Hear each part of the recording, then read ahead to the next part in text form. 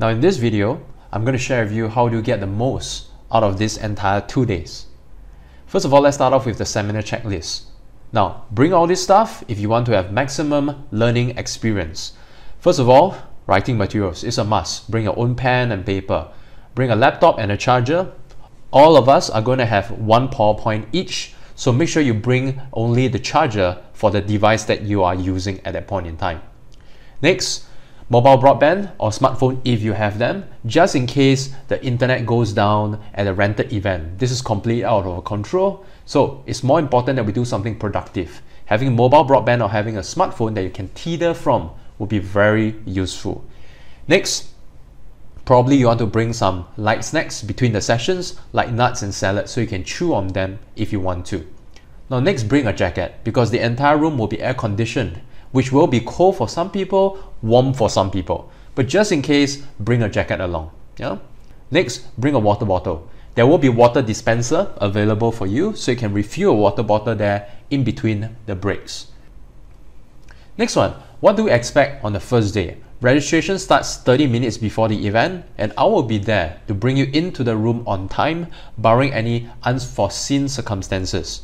So, this means that in the meantime, after you're done the registration, you will be at the holding area where this will present to you an opportunity for you to calm down and to get yourself to the learning mindset, ready to learn, ready to implement as well. Yeah. Next, there will be breaks in between the sessions, and of course, there will be lunch breaks for you on both days.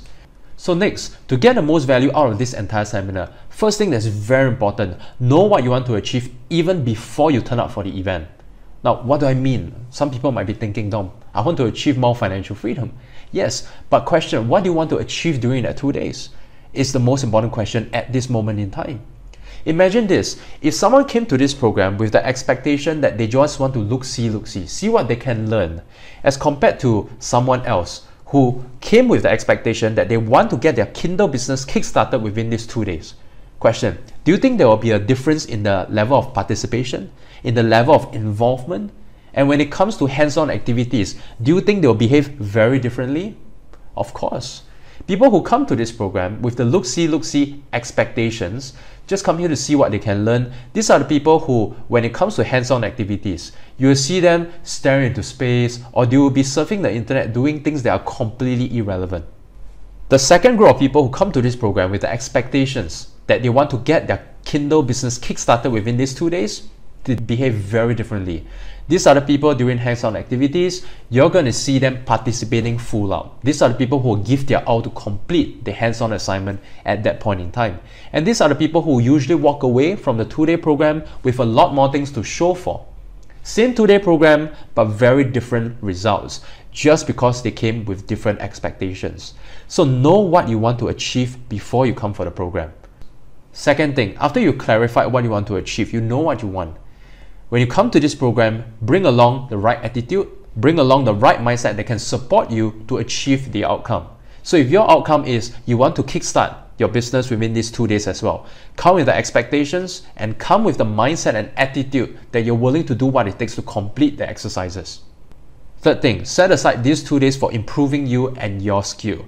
Now, just take these two days as a mini retreat for you, which means after the event, you probably just want to head directly home or somewhere conducive where you probably want to do some of the assignments that you can choose to do if you want to maximize your experience for the entire two-day event. Yeah. Now the next one, optional but highly recommended. You probably want to familiarize yourself with the entire seminar location first before you turn up, especially with the traffic conditions, so that you can turn up not just on time, but you can be early as well. Settle down first, then I'll see you in the event. So with that, I look forward to seeing you at the event where I'm going to nurture you, support you, and train you. See you soon.